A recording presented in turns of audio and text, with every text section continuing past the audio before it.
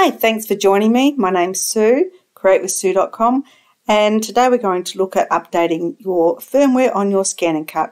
You'll see the update available and an information next to it on my screen, plus a Wi-Fi icon next to it.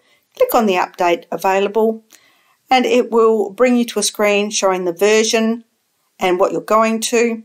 Click update, and off we go. Now this bit takes quite a while. So I'll have a little chat to you about other options in a minute. Um, occasionally you will see only see that little blue information and you can click on that and find the update that way.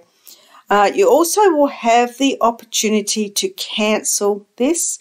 At the moment we're just up um, downloading the update so you could cancel if you wanted to.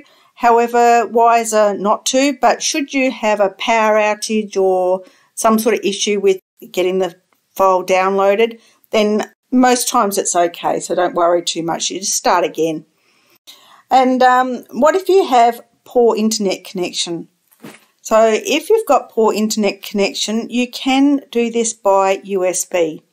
So you would go over to Brother Support, or uh, it's actually support.brother.com, and I'll put that in the bottom of the video so that you have that.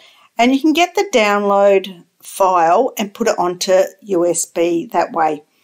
And then plug your USB device into your machine and do the update. With my old CM model, I had to do that quite a few times. We had really poor internet connection, so that, that was the only way I could do it. With my new DX, we've actually got better internet connection now and can do it over Wi-Fi. So let's go over to the Brother site. This is support.brother.com and you can choose your country, and also your product. So you can see there's a search bar at the top and also different Brother products to choose from. Uh, easiest way is to type in your model in that search bar and click search. But you can also get go down here to the cutting machine section and click on cutting machine and work through that way. And you'll find a whole heap of other options and uh, manuals and downloads in that, in that area. We've gone directly there. So downloads, choose your operating system. So you can see that there's a Windows and a Mac version. Uh, the Mac version, uh, choose your version that you need and also the Windows version. The file here, you'll see at the top for Windows and you click on it and have a little read and you can see the size of the download. So all you do is you click the download and it'll go onto your computer and you can download it. There's a few steps to go over, an agreement, so you click on the agreement and you can follow it all the way through to the download. And take you back to, and we're still going. So this took about 16 minutes all up to get through the downloading of the 20 odd meg file. Once you've got through it, you can see saving the update file. Do not turn the main power off. So this is a critical part because it's actually updating the firmware through this section. So do not turn it off in this bit.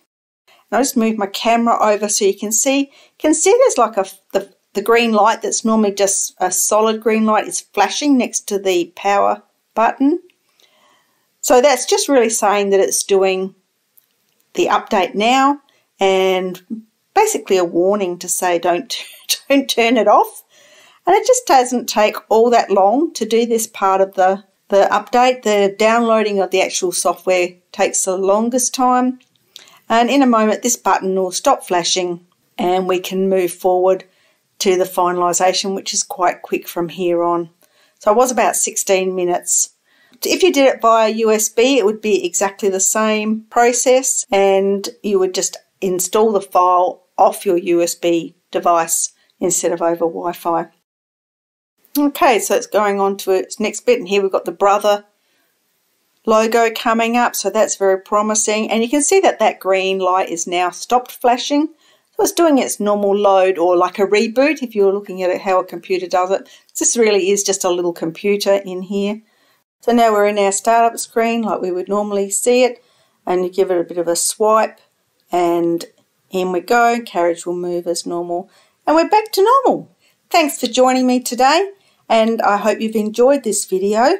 Uh, if you want to see more videos, check uh, subscribe to my channel or head over to createwithsue.com and I've got lots of tutorials, free projects, tips, tricks, and more. Thanks for joining me. Catch you next time. Bye.